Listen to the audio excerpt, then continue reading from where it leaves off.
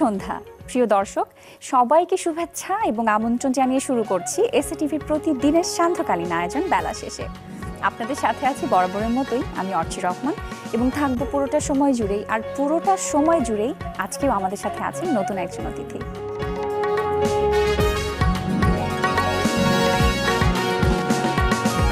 প্রিয় দর্শক, আজ আমাদের সাথে স্টুডিওতে আছেন অভিনেত্রী এবং নৃত্যশিল্পী সুমি। কথা বলব তার সাথে। কেমন আছো? অনেক ভালো আছি। অনেক অনেক শুভেচ্ছা জানাচ্ছি। আমি ভালো আছি এবং তোমাকে সামনে পেয়েও ভালো লাগছে। গত বছর আমরা অনেকগুলো নতুন নতুন কাজ নিয়ে কথা বলেছিলাম। আশা হ্যাঁ। করছি আজকে আরও আপকামিং কাজগুলো নিয়ে আলাপ করতে পারব। সো কি কি কাজে ব্যস্ত এখন তুমি? ব্যস্ততা তেমন নেই। আহ, দুটো কাজ করছি। আচ্ছা। আর সামনে যেহেতু পরীক্ষা এইচএসসি সেটাতেই হ্যাঁ। বেশি কনসেন্ট্রেট করছি। সেই প্রেশারটা তো থেকেই যাচ্ছে সব থেকেই যাচ্ছে সব সময় পরীক্ষা কি কোনো কাজ আসলে সেটা দেখা যাচ্ছে কোনো পরীক্ষার মাঝখানে পড়ছে। যার কারণে কাজ খুব কম করা হচ্ছে। কিন্তু অনেকগুলো কাজ ছেড়ে দিতে হচ্ছে। হ্যাঁ, অনেকগুলো কাজ ছেড়ে দিতে হচ্ছে। কিন্তু যেগুলো করছি আমি খুবই স্যাটিসফাইড আচ্ছা। এগুলো করে। এখন একটা সিরিয়ালের কাজ হচ্ছে। হ্যাঁ, সেটা সম্পর্কে একটু শুনি। সালাউদ্দিন লাবলুর যে নাটকটি। সানাউদ্দিন লাভলু স্যারের একটা সিরিয়াল চলছে প্রিয় দিন প্রিয় রাত তো ওটা একটা বেসরকারি চ্যানেলে চলছে। ওখানে কাজ করছি এক বছর হলো। এই আচ্ছা। জানুয়ারিতে এক বছর হয়ে যাবে। প্রত্যেক মাসেই দেখা যাচ্ছে কুষ্টিয়াতে গিয়ে ওটা শুটিং আচ্ছা। করতে হয়। পুরো পুরো শুটিংটাই হয়েছে পুরো কুষ্টিয়াতে? হ্যাঁ পুরো শুটিংটাই কুষ্টিয়াতে হচ্ছে যার কারণে ওখানে একটা বিরাট সময় দিতে হয়েছে হ্যাঁ। হ্যাঁ তো দেখা যাচ্ছে ওখানে মাসের ছয় সাত দিন চলে গেলে আমি পড়ব কখন বা অন্য কাজ করব কিন্তু খুবই সুন্দর হচ্ছে সিরিয়ালটা। ওখানে আমাদের সাথে কাজ করছে নীলা আলমগীর ভাই আচ্ছা। মাসুম আঙ্কেল মিলিয়ানটি আরও অনেকে কাজ করছে। তো সবার সাথে কাজ করছে এবং যার গল্প কাজী শাহেদুল ইসলাম। আচ্ছা। উনি এত সুন্দর করে গল্পটা লিখেছেন। মানুষ এত সুন্দরভাবে নিচ্ছেন ভালো লাগে। যখন দর্শকরা বলে আর কি ক্যারেক্টারটার নাম ধরে আমাকে ডাকে আচ্ছা। যে জুথি কি করছে না করছে? এরকম তোমার ক্যারেক্টারটা কেমন? সেটা যদি জানতে চাই। আমার ক্যারেক্টারটা হচ্ছে একটা এইচএসসি পরীক্ষার্থী। আচ্ছা? মিলে গেছে। এবং ওখানে খুবই চঞ্চল একটা ক্যারেক্টার রিসেন্টলি সে একটা মানে হারিয়ে গেছে। আচ্ছা। তো দেখা যাক তাকে পাওয়া যায় কিনা। শুটিং এর অভিজ্ঞতা কেমন? ছিল যেহেতু দীর্ঘদিন ধরে হ্যাঁ কাজ করতে হয়েছে। শুটিং এর অভিজ্ঞতা আসলে এই একটা প্রোডাকশনের সাথে তোমার আগেও একটা সিরিয়াল করা হয়েছিল সোনার পাখি রূপার পাখি আমার প্রথম হ্যাঁ, প্রথম নাটক ধারাবাহিক নাটক। তো প্রোডাকশনটা খুব পরিচিত। আর যাদের সাথে কাজ করছি মাসুম আঙ্কেল মিলি আন্টি নিলয় ভাই শাহেদ ভাই এত সাপোর্টিভ ওনারা আচ্ছা। এত সুন্দর করে সাপোর্ট করে। আমি তো অনেক ছোট অনেক সময় অনেক ভুল করে ফেলি না বুঝে বুঝে। অবশ্যই, মানে ভুল করে- থেকেই তো আসলে শেখা হ্যাঁ, করেই ফেলি অনেক ভুল। তো ভাইয়ারা আঙ্কেলরা সালাদুল্লাহ স্যার এত সুন্দর করে বুঝিয়ে দেয় এর জন্য ভালো লাগে ওখানে কাজ করতে। কাজের এই সাপোর্টটা কিন্তু একজন নিউ কামারের জন্য অনেক। ইম্পর্টেন্ট আসলে হ্যাঁ না তাকে তৈরি করতে খুব সাহায্য করে এই বিষয়টা। যেমন আমার প্রথম নাটক আমি খুবই কি সৌভাগ্যবতী। বলতে যে আমি সাউদ্দিন স্যারের সাথে প্রথম নাটক করতে পেরেছি। উনি এত সুন্দর করে ধরে ধরে বুঝিয়ে বলে ক্যারেক্টারগুলো ডায়লগগুলো যে কীভাবে থ্রো করতে হবে। ওনার কাছে না পড়লে আমি জানি না আমি আজকে কতটুকু মানে শেখা হতো শেখা হতো। এখনও শিখছি ওনার কাছে। উনি। নিজে একটা ইনস্টিটিউট বলা যায়। এখন কতগুলো পর্ব শুটিং হয়ে গেছে কতগুলো পর্ব? শুটিং হয়ে গেছে অনেক পর্ব প্রায় ষাট সত্তর এরকম। আর চলছে চল্লিশ পঞ্চাশ আচ্ছা। এরকম চলছে। রেসপন্সটা কেমন পাচ্ছ? সেটা একটু শুনি। রেসপন্স খুবই ভালো পাচ্ছি মানে আচ্ছা। আহ, একটা মানে মফস্বল শহরের কাহিনী। পরিবার ভিত্তিক একটা মানুষ একা বসেও দেখতে পারবে তার প্রেমের আচ্ছা। স্মৃতিও চারণ করতে পারবে তার ফ্যামিলি সহ দেখতে পারবে। খুনসুটি ঝগড়া বিবাদ ভালোবাসা মা ছেলের কাহিনী বাবা মায়ের কাহিনী সব কাহিনী এটার ভেতর আছে যার কারণে সব বয়সের সব দেশের মানে সবাই মিলে বা দেখা যায় তো। করতে পারবে নিজেদের হ্যাঁ। এর জন্য প্রত্যেকটা জেনারেশনই আসলে এটার একটা আহ, মানে দিচ্ছে তাদের মতবাদ দিচ্ছে। বাহ চমৎকার। নাটকের গল্প শুনলাম। বড় কথা যেটা সেটা হচ্ছে তোমার একটা চলচ্চিত্র আসতে যাচ্ছে। এই কম সময়ের ক্যারিয়ারের জীবনে একটা চলচ্চিত্রে কাজ করে ফেলা এবং অভিনয়ের ব্যাকগ্রাউন্ড থেকে আসা হয়নি সেক্ষেত্রে নাচের ব্যাকগ্রাউন্ড থেকে আসা কিন্তু অভিনয় চলে আসা হয়েছে। সেই গল্প শুনব তবে তার আগে চলচ্চিত্রের গল্পটা একটু শুনি। এই প্রজেক্টের সাথে তুমি কি করে সংযুক্ত হয়েছো? এই প্রজেক্টটা আসলে আমি খুবই আর কি নেশা বলা যায় একটা আচ্ছা। স্টোরির প্রতি। তো আমি সবসময় খুঁজে থাকি যে আহ, কোন নাটকটার স্টোরি সুন্দর কোন ডিরেক্টরের স্টোরি সুন্দর মানে এভাবে খুঁজতে থাকি এবং খুঁজতে খুঁজতেই আমার খুব পছন্দের একজন ডিরেক্টর তানভীর হাসান। তো শুনলাম যে একটা প্রজেক্ট হচ্ছে অমনিবাস সিনেমার প্রজেক্ট তো ওখানে হচ্ছে অডিশন দিয়ে আমার টিকা এবং ওখানে কাজ করা আমার পছন্দের ডিরেক্টরের সাথে এবং খুবই ভালো একটা গল্প। আচ্ছা। আর ওই সিনেমাটা হচ্ছে এগারোটা স্বল্পদৈর্ঘ্য চলচ্চিত্র নিয়ে একটা পূর্ণ দৈর্ঘ্য চলচ্চিত্র। হ্যাঁ। তো ওখানে এত ভালো একটা ডিরেক্টর সবাই আসলে অনেক ভালো করেছে। হ্যাঁ যার যার ক্ষেত্র থেকে আমি অনেক ছোট তাদের জাজ করার জন্য। তো সেখানে একটা এত ভালো একটা পজিশনে কাজ করতে পেরে আমার- আমি আসলে খুবই খুশি। তুমি প্রথম কবে জানতে পেরেছিলে যে এই চলচ্চিত্রে তুমি কাজ করতে যাচ্ছ? কীভাবে জানতে পেরেছিলে? আমি প্রথম জানতে পেরেছিলাম আমার একটা কল আসে। ওই ডিরেক্টর ভাইয়ারই একটা অ্যাসিস্ট্যান্ট কল দেয় আচ্ছা। যে আপনাকে হচ্ছে এই ক্যারেক্টারের জন্য আমরা চিন্তা করছি আপনি কি ফ্রি আছেন এত তারিখে? অডিশন দেওয়া ঠিক আসলে আমার সবগুলো কাজই আমি অডিশন দিয়ে টিকেছি। ঠিক আছে। আহ, আমি স্টোরি শুনে অডিশন দিয়েছি এবং ওই অডিশনে টেকার পর ওই- ক্যারেক্টারের উপর স্টাডি করেছি। দীর্ঘদিন যাবত ওই ক্যারেক্টারের মধ্যেই আমি বসবাস করছি। যেটা করি। আমার গুরুজি আমার সালুদ্দিন লাভলু স্যার আমাকে শিখিয়েছেন যে একটা ক্যারেক্টারে বসবাস করতে হবে। না হলে তো তুমি সেই ফুটিয়ে তোলার জন্য আসলে হ্যাঁ, ফুটিয়ে তুলতে পারবে না। এর জন্য অনেক কাজ আসলে আমার মিস যায়। কারণ আসলে সব ডিরেক্টর ভালো না হলে তারা ডিরেক্টর হতো না। অবশ্যই। এবং তারা খুব ভালো গল্পে কাজ করে কিন্তু দেখা যায় যে আমি ওই ক্যারেক্টারটাতে নিজেকে মানাতে পারছি না। এর জন্য অনেক সময় অনেক কাজ করা হয় না। সবসময় আসলে কিন্তু চরিত্রে মিল খুঁজে পাওয়াটাও টাফ ব্যাপার। হ্যাঁ, মিল সম্ভব খুঁজে পাওয়া-। এবং এই চরিত্রের ব্যাপারগুলো নিয়ে তুমি কি ভাবছ সেটা শুনব তবে? ছোট্ট একটা বিরতি সময় হয়ে গেছে। প্রিয় দর্শক নিয়ে নিচ্ছি ছোট্ট একটা বিরতি ফিরে আসছি আবারও একটু পরে। ছোট্ট একটা বিরতির পরে আমাদের আজকের অতিথির কাছে আমাদের সাথে থাকবেন।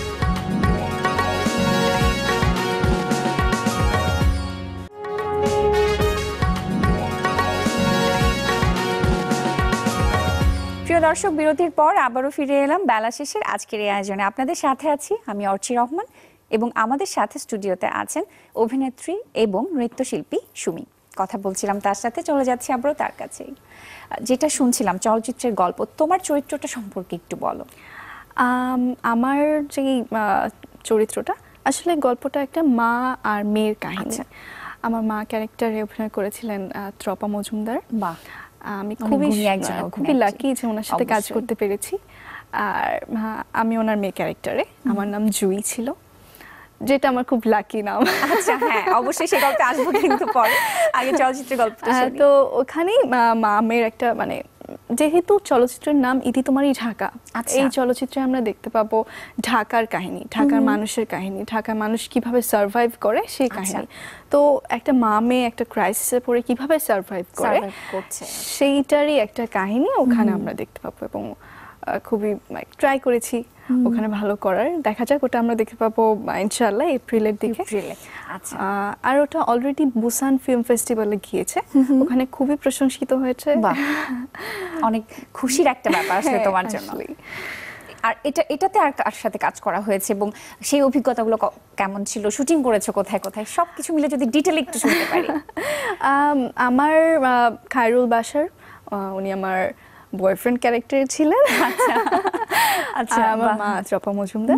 এই তিনজন তিনজনকে বেসিক্যালি হ্যাঁ আচ্ছা। তিনজনকে ঘিরেই বেসিক্যালি কাহিনী। আর আমাদের শুটিং হয়েছে পুরান ঢাকার দিকে। পুরোটা ঢাকাতেই হয়েছে। হ্যাঁ পুরোটা ঢাকাতেই হয়েছে এবং পুরান ঢাকার দিকে শুটিং হয়েছে। তো আসলে ঢাকার কাহিনী তো ঢাকাতেই তো হবে এবং আহ, পুরো কাহিনীটা আসলে খুবই সুন্দরভাবে ডিরেক্টর simple একটা খুবই সিম্পল কিন্তু মানুষ ওটার সাথে রিলেট করতে পারবে। তুমি কতটুকু রিলেট করতে পেরেছ? আমি আসলে ট্রাই করেছি ওই ক্যারেক্টারে থাকার তো রিলেট করতে পেরেছি আমি পুরোটা বিষয়। আর এই তো দেখা যাক। শুটিং করতে যে অভিজ্ঞতা কেমন ছিল এবং বলছিলে যে এত গুণী একজন অভিনেত্রীর সাথে কাজ করার সুযোগ হয়েছে সেটা কেমন শুটিং করতে পারার অভিজ্ঞতা আমি তো প্রথম থেকেই খুব খুশি ছিলাম কারণ আমার এত পছন্দের একজন ডিরেক্টর তানভীর হাসান ভাই। উনি খুব সুন্দরভাবে শুটিং এর আগে আমাদের একদিন রিহার্সাল করেছেন আচ্ছা। আমাকে এবং খায়রুল বাসার ভাইকে। তো দুজনকে রিহার্সাল করার সময় তো আমরা বুঝে গেছি যে উনি কীরকম চায় কীরকম ক্যারেক্টারটা চায়। কিন্তু পরে যখন গিয়ে দেখলাম যে আমার মা ক্যারেক্টার ত্রপা মজুমদার উনি প্রত্যেকটা সিনে এমনভাবে কানেক্ট করে আচ্ছা। ওনার কোয়ার্টিস্টের সাথে যে অটোমেটিক্যালি ওনার কোয়ার্টিস্ট আসলে অ্যাক্টিং করতে বাধ্য ভালো অ্যাক্টিং করতে বাধ্য। আচ্ছা। তো আসলে সিনিয়র আর্টিস্টদের এইটাই কাজ করার অভিজ্ঞতাটাই আসলে অন্যরকম। অনেক কিছু শেখার সুযোগ অনেক কিছু শেখার সুযোগ থাকে এবং আমি অনেক লাকি যে এত অল্প সময়ে এত অল্প বয়সে এত গুণী গুণী মানুষদের সাথে কাজ করতে পেরেছি। আবুল হায়াত স্যার ত্রপ মজুমদার তারপর শাওন শাওন ম্যাম। তো এত বড়দের সাথে কাজ করতে পারা এত অল্প সময়ে যতটুকুই কাজ করি। Lucky বলতেই অনেক লাকি আমি। এই যে একটা কষ্ট করে একটা টিম ওয়ার্ক করে একটা কাজ করা এবং সেই কাজের জন্য অপেক্ষা করা প্রত্যাশা কিন্তু অবশ্যই থাকে। এবং একটা কাজের সময়ও কিন্তু প্রত্যাশাটা একটু একটু বোঝা যায় মনে হয় কাজটি কেমন হচ্ছে বা কি হতে যাচ্ছে। হ্যাঁ। তোমার প্রত্যাশার জায়গা থেকে যদি জানতে চাই। আমার প্রত্যাশার জায়গা আসলে অনেক বেশি। আমি এটা থেকে অনেক কিছু এক্সপেক্ট করছি। আহ, একে তো হচ্ছে অ্যাক্টিংটা আমি এখানে বেশি চর্চা করেছি। দর্শকদের সাথে কানেক্ট করার অনেক আচ্ছা। ট্রাই করেছি স্ক্রিনে। আসলে প্রত্যেকটা কাজেই আমি এটা ট্রাই করি। তো এটা তো করেছি দেখা যাক কি হয়। এবং সুমি সেজন্য অনেক অনেক শুভেচ্ছা জানাচ্ছি অগ্রিম শুভেচ্ছা জানাচ্ছি যেন অনেক ব্যবসা সফল হয় এবং তোমার কাজটি যেন সবাই অ্যাপ্রিসিয়েট এই বছরে আরেকটা কাজের কথা যেটা জানতে চাচ্ছি শাওন ম্যামের সাথে যে কাজটা করা হয়েছিল বোতল ভূত সেই কাজটি একটু শুনতে চাই পাঁচ পর্বের ছিল নাটকটি। বোতল ভূত রোজার ঈদে করেছিলাম ওই কাজটি। আর ওখানে পাঁচ পর্বের ধারাবাহিক বোতলভূত গল্পটা লেখা হুমায়ুন আহমেদ স্যারের। তো ওনার গল্প তো অবশ্যই ডিফারেন্ট কিছু থাকে সবার ড্রিম থাকে একটা ওনার হ্যাঁ, ওনার থাকে। গল্পে কাজ একে তো ওনার গল্পে কাজ করার একটা ড্রিম তার উপর যেটা ছিল সেটা হচ্ছে আমার আমি যখন সেরেনাচিতে ছিলাম সেখানে আচ্ছা। একজন বিচারক ছিলেন হচ্ছে শাওন ম্যাম। বাহ। তো তখন থেকে একটা অনেক আগ্রহ একটা আকর্ষণ যে ম্যাম যেহেতু আমার এক্সপ্রেশনের এত প্রশংসা করছেন নাচের এত প্রশংসা করছেন যদি ওনার সাথে একটা কাজ করতে করা পারতাম হ্যাঁ। যদি ওনার আন্ডার একটা কাজ করতে পারতাম অনেক কিছু শিখতে পারতাম। তো ওই স্বপ্নটা আসলে পূর্ণ হয়েছে বোতল ভূত কাজের হ্যাঁ। মাধ্যমে। ওনার ডিরেকশনে কাজ করেছি এবং উনি এত সুন্দর করে কাজ করে। ওই গল্পটা তো বাচ্চাদের নিয়ে হ্যাঁ। বাচ্চা কেন্দ্রিক। আহ, ছোটদের নিয়ে। তো ছোটদের ম্যানেজ করাটা তো সহজ সহজ না। শুটিং এ এত সুন্দর করে উনি বাচ্চাদেরকে ম্যানেজ করেছেন। মানে কোনো ঝামেলা হয়নি এবং আমি ওনার কাছ থেকে অনেক কিছু শিখতে পেরেছি। শুধু আচ্ছা। অভিনয়ে না শুধু একটা শুটিং এ কীভাবে কাজ করতে হয় সেটা না। একজন ব্যক্তি হিসেবে উনি অনেক বেশি গুণী। বাহ! বোতল ভূতের রেসপন্সটা কেমন পেয়েছিলে? বাচ্চাদের কাজ ছিল যেহেতু। বাচ্চাদের কাজ ছিল যেহেতু কিন্তু আমার ক্যারেক্টারের নাম ছিল আহ, অরু। ওই ক্যারেক্টারটা একটু ম্যাচিউর ছিল। আচ্ছা। আর কি সে এইচএসসি দিবে কলেজে পড়ে ওরকম একটি ক্যারেক্টার। সে একটু গম্ভীর। তো আমি আচ্ছা। যেহেতু আগে জুই টিভিসি ছাড়া খুব চঞ্চল ক্যারেক্টারে অভিনয় করে এসেছি। হ্যাঁ। আর কি একটা আঠারো বছরের মেয়ে মানেই তো হচ্ছে চঞ্চল। সে অবশ্যই। অনেক চঞ্চল তো সেখান থেকে ডাইভার্ট হয়ে একটা গম্ভীর ক্যারেক্টারে নিজেকে আনা। ওটা একটু আর কি ইয়ে একটু একটু কঠিন ছিল। কঠিন ছিল। কিন্তু শাওন ম্যাম ওটা খুবই সহজ করে দিয়েছেন এবং খুব সুন্দরভাবে ওই ক্যারেক্টারটা বসিয়েছেন। তাই অনেক প্রশংসা এসেছে যে তুমি তো ক্যারেক্টারটা খুব ভালো করে করেছ আচ্ছা। যেটা তোমাকে আগে দেখিনি এরকম ক্যারেক্টার এই যে ভিন্ন ভিন্ন চরিত্রে তুমি কাজ করছ এগুলোর প্রস্তুতি পর্ব কেমন থাকে সেটা শুনব তবে আবারও ছোট্ট একটা বিরতির সময় হয়ে গেছে। প্রিয় দর্শক আবারও নিয়ে নিচ্ছি ছোট্ট আরেকটা বিরতি। ফিরে আসছে এক্ষুনি আবারও আমাদের আজকের অতিথির কাছে। আমাদের সাথেই থাকবে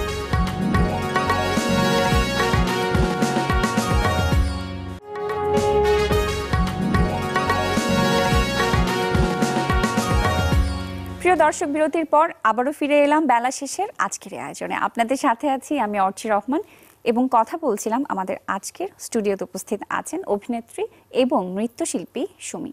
চলে যাচ্ছে আবারও তার কাছেই বিরতির আগে একটা প্রশ্ন ছিল যে কীভাবে ভিন্ন ভিন্ন চরিত্রগুলো তুমি প্রস্তুতি নিচ্ছ? কারণ তুমি বলছিলে যে দীর্ঘ সময় একটা চরিত্রে তুমি থেকে প্রস্তুতি নিতেই পছন্দ করো। এটা একটু শুনি। আসলে একটা কাজের অফার যখন আসে যখন ওই স্টোরিটা পছন্দ হয় ক্যারেক্টারটা পছন্দ হয় মনে হয় যে আমি করতে পারব।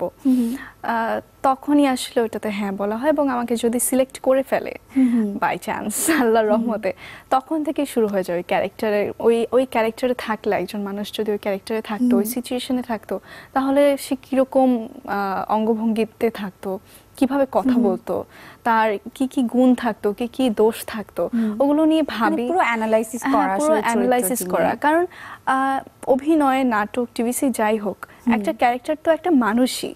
ওটা তো আলাদা একটা মানুষের ক্যারেক্টার আমি আরেকটা মানুষকে করছি। পোট্রে করতে হচ্ছে। হ্যাঁ তো আমার যেহেতু দোষগুণ আছে অবশ্যই তারও দোষগুণ আছে। তো সেগুলোই আমি ইমাজিন করার ট্রাই করি। কারণ একটা মানুষ দোষ গুণ ভাগ্য সিচুয়েশন এসব নিয়েই তৈরি। সবই। তার মধ্যে থাকে। তো এগুলো যদি একটা ক্যারেক্টারে আমি দিতে পারি আমি মনে করি যে একটু হলেও আমার চরিত্রটি ফুটিয়ে তোলা হ্যাঁ, ওই চরিত্রটি আমি ফুটিয়ে তুলতে পারব।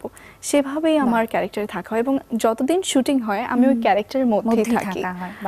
এই যে নাটকের কথা বলছিলে এবং চরিত্রের কথা বলছিলে তুমি অভিনয় থেকে আসলে আসোনি। তোমার ব্যাকগ্রাউন্ডই ছিল নাচ। থেকে। ছোটবেলা থেকেই নাচ শেখা হয়েছে এবং প্রফেশনালি কাজ শুরু করা হয়েছে নাচের মাধ্যমে। নাচের মাধ্যমে। সেরা নাচিয়েতে ছিলে দু হাজার পনেরোতে। সেই গল্পটা একটু শুনি। আমি আড়াই বছর বয়স থেকে নাচ শিখছি। আচ্ছা। কিন্তু আমার কি একদম স্মুথলি নাচ শেখা হয়নি। এখানে একটু ওখানে একটু। মানে আমি চেয়েছি যে বিভিন্ন পড়েছে। হ্যাঁ ব্রেক আচ্ছা, পড়েছে। আহ, পড়াশোনার জন্য। তারপর নিজের ইচ্ছার জন্য যে আমি বিভিন্ন টাইপের নাচ শিখব বিভিন্ন জনের আহ, মুদ্রা নিব বিভিন্ন জনের স্টাইল নিব। কারণ নাচ এমন একটা জিনিস যার কাছ থেকে শেখা হয় তার স্টাইলটা চলে আসে। একদম হুবহু। তো আমি চেয়েছি যে নিজে একটা স্টাইল ক্রিয়েট করতে।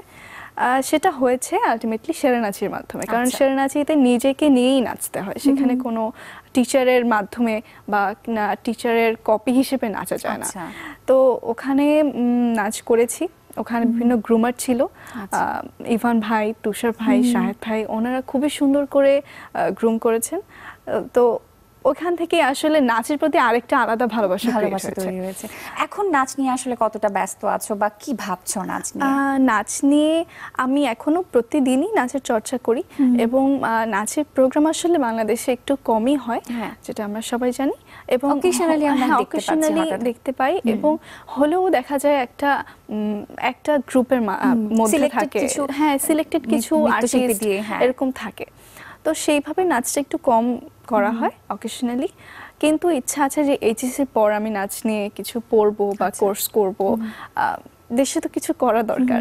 একজন নাগরিক হিসেবে অবশ্যই কিছু দায়িত্ব থাকে যে একজন মানুষের মধ্যে যেসব গুণ আছে সেই গুণগুলো দিয়ে যেন ভালো কিছু করা যায় অন্যদের জন্য। চমৎকার একটা ভাবনা। নাচ দিয়ে শুরু হয়ে অভিনয়ে চলে এলে নাচটা কি একটু পিছিয়ে পড়েছে? নাচটা আসলে পিছিয়ে পড়েনি নাচটা আগের জায়গাতেই আছে। আচ্ছা। আহ, কিন্তু অভিনয়ের সুযোগটা যেহেতু একটু বেশি পেয়েছি আমি আহ, তাই বলা যায় যে অভিনয়টা একটু বেশি করা কাজ করা হয়েছে। হ্যাঁ, এবং অভিনয় নিয়ে অবশ্যই ভাবছ। এবং নাচের পরে তোমার যে কাজটি ছিল একটা টিভিসি দিয়ে যে যেই পরিচিতিটা তুমি পেয়েছিলে যে রেসপন্সটা তুমি পেয়েছিলে সেটা বলতেই হয় আহ, জুই ছিল নারী দিবসের বিশেষ একটা আয়োজন ছিল। সেটা সম্পর্কে সেই অভিজ্ঞতাটা একটু শুনি। আহ, ওটা আসলে কি বলব? আহ, আমার প্রথম যে ধারাবাহিক সোনার পাখি রূপার পাখি সালাদুল্লাপুর স্যারের ওটা দেখে আসলে ওইটা ডিরেক্টর জুই টিভিসি ডিরেক্টর আমাকে নক করেন অডিশনের জন্য। আমি অডিশন দিতে চাই এবং আমি যখন স্ক্রিপ্টটা পড়ি আমার মনে হয়েছে যে এই ক্যারেক্টারটা আসলে আমি প্লে করতে পারব। ওই অডিশনের সময়ই আমার ওই ক্যারেক্টারটা মধ্যে চলে এসেছিল এবং আমি যতটুকু সম্ভব আমি করেছিলাম। তার দুই দিন পরেই আমার কল আসে। যে আমি আচ্ছা। সিলেক্ট হয়েছি তারপর শুটিং হয় এবং শুটিংয়ে আমি মানে ডিরেক্টর এত সুন্দর করে আমাকে অ্যাডভাইস দিয়েছেন এত সুন্দর করে বুঝিয়েছেন যে ক্যারেক্টারটা কীভাবে হবে। হতে পারে, হ্যাঁ। এবং আরেকজনের নাম না বললেই নয় সে হচ্ছে আমাদের যে ডিওপি ছিল নেহাল ভাই নেহাল কুরাইশি। উনি ডিরেক্টর এবং ডিওপি ভাই। দুজন এত সুন্দর করে সাপোর্ট করেছেন। এই দুজনের সাপোর্ট এবং স্টোরি এই তিনটা মিলেই আসলে আমার অভিনয়টা আমি ফুটিয়ে তুলতে পেরেছি বলা যায়। এবং মানুষের কাছে এটা পৌঁছে গেছে। অনেকগুলো টিভিতে কাজ করা হয়েছে মিউজিক ভিডিওতে কাজ করা হয়েছে। মিউজিক ভিডিওর গল্প একটু শুনি। মিউজিক ভিডিও আমার একটাই মিউজিক ভিডিও করা হয়েছে সেটা হচ্ছে আহ, মিঠুন চক্রর তুমি ছাড়া। তুমি এবং এর আগে যখন আমি বেলা শিশুতে এসেছিলাম তখন সেটা নিয়ে কথা বলেছি রিলিজ হচ্ছিল তখন রিলিজ হ্যাঁ। হচ্ছিল সেটা। তো খুব ভালো লাগছে যে ওটা রিলিজ শেষ এবং ওটা খুব ভালো রেসপন্স পেয়েছে। আশা করি যে সামনে যদি আরও ভালো আমি স্টোরি পাই স্টোরি বেস কোনো মিউজিক ভিডিও আসে আমার কাছে আমি অবশ্যই করব। বাহ চমৎকার। এবং সেজন্য শুভকামনা জানাচ্ছি আগে থেকে এবং সামনের বছরটা আশা করছি তোমার জন্য অনেক ভালো যাবে অনেকগুলো কাজ হাতে আছে আশা করছি ভালো থাকবে। এবং অনেক অনেক ধন্যবাদ জানাচ্ছি বেলা শেষেতে আসবার জন্য। আপনাকেও ধন্যবাদ এবং আমার আসলে এসিটিভি খুবই ভালো লাগে। এখানে আসলে একটা মানে ঘর ঘর মনে হয়। বেলা শেষে তোমার খুবই পছন্দের একটি প্রোগ্রাম এখানে যখনই কোনো পরিচিত মুখকে দেখি একজন দর্শক হিসেবে হোক একজন কলিগ হিসেবে সব কিছু হিসেবেই ভালো লাগে। খুবই ভালো লাগে যখন বেলা শেষেতে নিজেই আসা হয়। আশা হয় নিজের গল্পগুলো হ্যাঁ, এবং দর্শকদের সাথে কানেক্ট করতে পারি। আর আরেকটা কথা বলতে চাই যে দর্শকদের সাথে কানেক্ট করার ব্যাপারটা অনেক সময় দর্শকরা খুব ভুল বুঝে ফেলে আমাদেরকে। আহ, অনেক ভুল ইনফরমেশনে তারা বিশ্বাস করে ফেলে। এটা আসলে একদমই করা উচিত। কারণ আমরা যে কষ্ট করে কাজটা করছি অভিনয় করছি নাচ করছি যাই করছি সেটা আসলে ওনাদের জন্যই করছি দিন শেষে। আমাদের লাভটা কি হচ্ছে? আমরা আলটিমেটলি পড়াশোনাতে আসলে মর্যাদাটা দেওয়া উচিত হ্যাঁ, সেই কাজের মর্যাদা দেওয়া উচিত। রিসেন্টলি বিভিন্ন সোশ্যাল মিডিয়াতে আর কি খুব আজে বাজে বলা যায় ইনফরমেশন ভুল ইনফরমেশন মিথ্যা কাউকে নিয়ে যেটা দেয়া হচ্ছে হ্যাঁ, কোনো স্ক্যান্ডাল হয়ে যাচ্ছে স্ক্যান্ডাল হয়ে হ্যাঁ। যাচ্ছে। ওরকম বিষয় ছড়াচ্ছে। তো সেগুলো থেকে বিরত থাকা উচিত। দর্শকদের অবশ্যই আমাদের কাজের মর্যাদা দেওয়া উচিত এবং একটু ভালোবাসা দরকার শুধু আর কিছু অনেক অনেক ভালোবাসা এবং অনেক অনেক শুভেচ্ছা জানাচ্ছি। আজকের মতো বিদায় নিচ্ছি। প্রিয় দর্শক আজকের মতো এখানেই শেষ করছি। বেলা শেষের আয়োজন। আবারও দেখা হবে নতুন আরেকটি দিনের শেষে নতুন আরেকটি আয়োজনে নতুন আরেকজন অতিথিকে সাথে নিয়ে। সে পর্যন্ত সবাই ভালো থাকবেন সুন্দর থাকবেন সুস্থ থাকবেন। এসএ টিভির পর্দায় চোখ রাখবেন।